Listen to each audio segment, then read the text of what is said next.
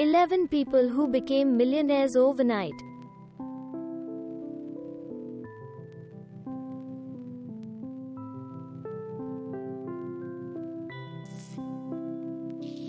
An artisanal miner in Tanzania who became an overnight millionaire last month after finding two of tea.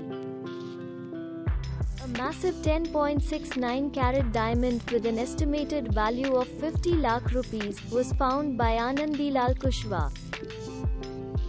A daily wager, Motilal Prajapati, in Madhya Pradesh's Panna district found a 42.59 carat diamond in. A business development manager who worked in a firm in Dubai won a lottery worth $3.2 million 20 rupees. After 30 years of running the same number in the Colorado lottery, Joe B finally received the sweet. According to reports, Shibu Paul and Lynette Joseph, a Malayali couple based in Nottingham in the Uni.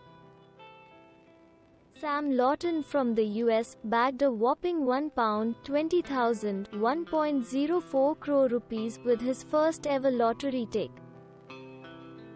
In an unfortunate event, a woman named LeAndra Clay, a resident of Helena, West Helena in Arkansas, Indian origin Krishna Barri, who lives in Florida, US, is not the kind of person who buys lottery.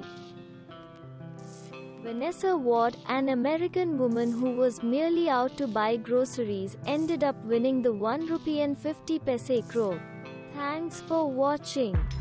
Subscribe not to miss new interesting videos. See you soon.